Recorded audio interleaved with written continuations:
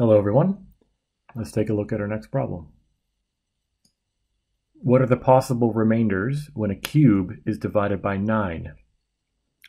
Uh, okay, so this seems to be kind of similar to uh, the previous question we asked, where, which, you know, the previous question can be rephrased, what are the possible remainders when a square is divided by 10?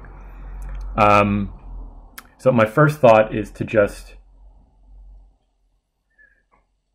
my first thought is to, um, well, what is my first thought?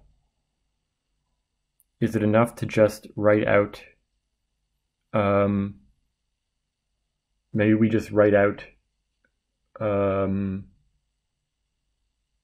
a the sequence of cubes mod 9 and it'll probably enter into a pattern, won't it?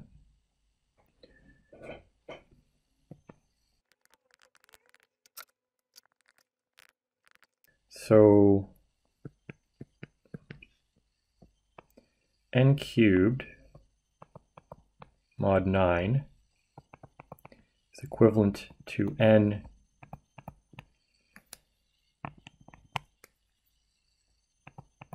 mod 9 cubed. When I say equivalent, I mean equivalent mod 9. So I mean, I suppose this is just like the previous question. We just have to look at the numbers in this case, um, in this case, from 0 up to 8 cubed. We don't actually need to look at 9 cubed. Uh, and so we need to take all these numbers, but then compute the remainder of them when we mod by 9. So if we just write out um, n cubed mod 9 as it depends on n.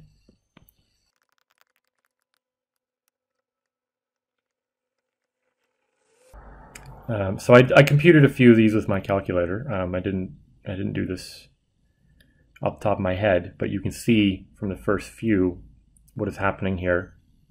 Uh, 0 cubed mod 9 is 0, 1 cubed mod 9 is 1, 2 cubed mod 9 is 8, and then that pattern just repeats. This is a multiple of 9.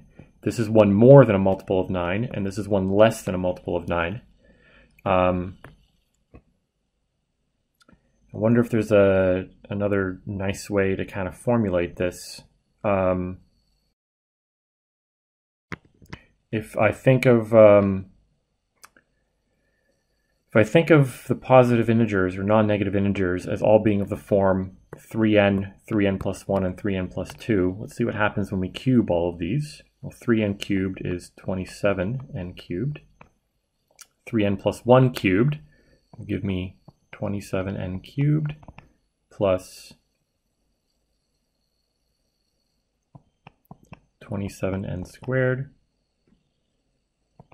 plus 9n plus 1 and 3n plus 2 cubed will give me 27n cubed plus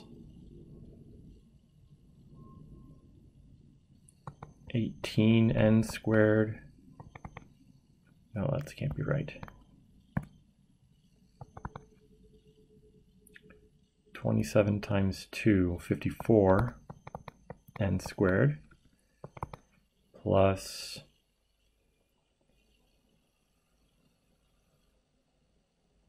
36n plus 2.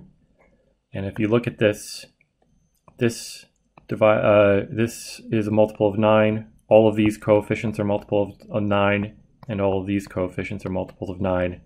And so the remainder, any number can be written like this for some value of n, for, uh, you know, pick any number, 17. 17 is equal to 5 times, 3 times 5 plus 2. Um, any of these that I cube, the remainder is going to be 0 or 1 or 2 when I divide by 9. Um, so that's it. That's the total possible remainders when we take a cube and divide by 9, 0, 1, or 2.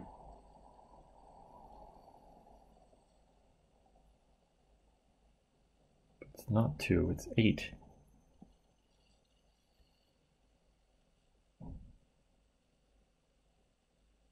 Oh, of course it's 8. I'm an idiot. So um, all of these coefficients are multiples of 9, every single one of them. Uh, and so any number can be written in this form, uh, one of these three options. When I cube it, I end up with what's written underneath. And then when I divide by 9 and take the remainder, I'm left with 0, 1, or 8, regardless of what the original number is.